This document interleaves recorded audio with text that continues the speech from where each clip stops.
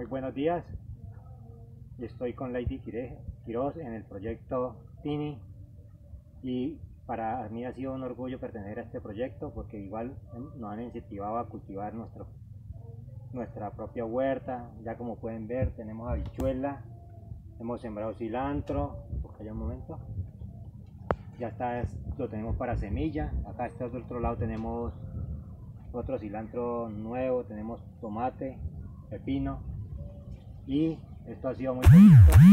Me gusta, me gusta la motivación de la gente cuando se, se, implementan cosas nuevas en la región, que es lo de las huertas, que vamos a comer saludablemente nuestros propios legumbres y hortalizas para una buena alimentación.